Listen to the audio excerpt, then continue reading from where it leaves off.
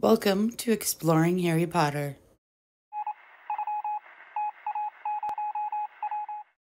A sickly green creature with sharp little horns had its face pressed against the glass, pulling faces and flexing its long, spindly fingers.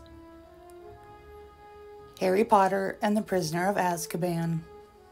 A Grindylow is a small, squirmy, pale green water demon. They have long, strong, skeleton like fingers, razor sharp teeth. They can grow up to be five feet long. Their appearance can vary slightly depending on what water they inhabit.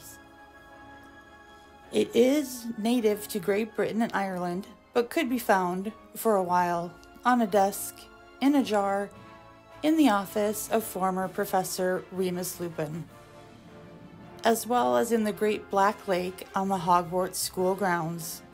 There's at least one reason there aren't any house swim teams. It is also known by several local names, making them seem much less menacing, such as a Poliwhirl, a Candy Pole, or a Jarvis. But don't let that fool you. They are aggressive towards witches, wizards, and muggles. Magical ability does not seem to impress them either way. Only the mer people have managed to tame them. They've even domesticated them and keep them as pets. If you want to know more about mer people, just click the card at the end of this video. Grindylows dine mainly on fish, algae, other small sea and water creatures, but occasionally they will eat humans. They will grab little children with their long arms and drown them and eat them if they come too close to the water's edge. Grindylows have been used as a boogeyman of sorts, as a way to frighten children away from bodies of water.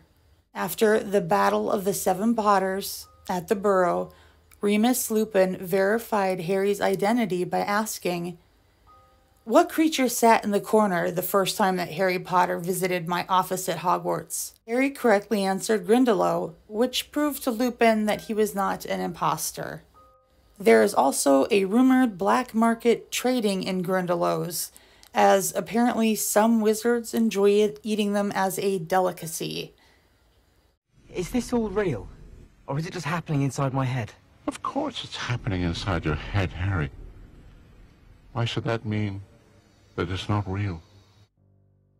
Thank you guys so much for watching this video. I truly appreciate it.